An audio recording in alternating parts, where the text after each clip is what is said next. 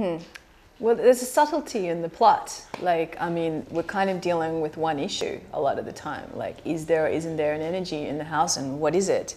Mm. Um, And because the tensions that are coming up are so natural in a way of like the family and all of this suppressed anger and hatred and their inner turmoil and their mm. fear is kind of being released by the supernatural spirits, it's hard to tell if it's just them Mm. or if it's the spirits and it's really blurry to try and figure it out and It's almost like if you're dealing with an insane person and you can't mm. blame the person because is it the disease and what is a disease? It's like this thing that's hard to, you can't contain it or put a handle on it or define it. You just get caught up in the feeling of it. And they're all collectively in this crazy dream with each other trying to make sense of it. Mm. Um, and then they're able to kind of figure out why this is happening. The one of the original ideas for the story was from taking people take rocks from Uluru in Central Australia, and there's this whole room there of people who've sent the rocks back Yes. to Uluru because Yeah. stuff happens to them and to their families after they take the rocks from this place, and they have to send it back in order for their family to be okay again.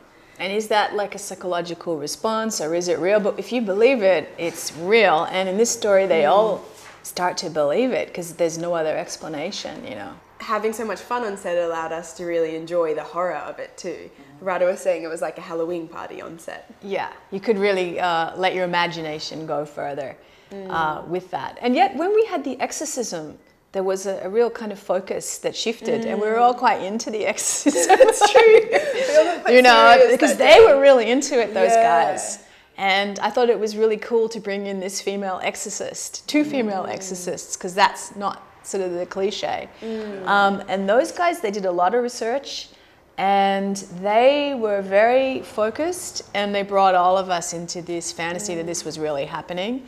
And I think on that day, they even had a kind of a, another exorcist guy who was on set who was like explaining all of this creepy stuff that had happened around Hollywood. He was like a Hollywood exorcist. Um, and he was, he, you know, that was his real reality.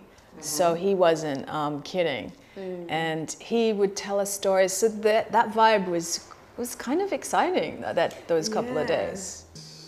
Yeah, yeah, Totally, yeah. right? I mean, we learned some skills. We're like We learned a bit of- Ghostbusters now, right? Yeah, we got some sage happening mm-hmm. and like know what to say. We've got the Yeah. mantra down, so Yeah, if a ghost shows up, we're cool. yeah, we're fine.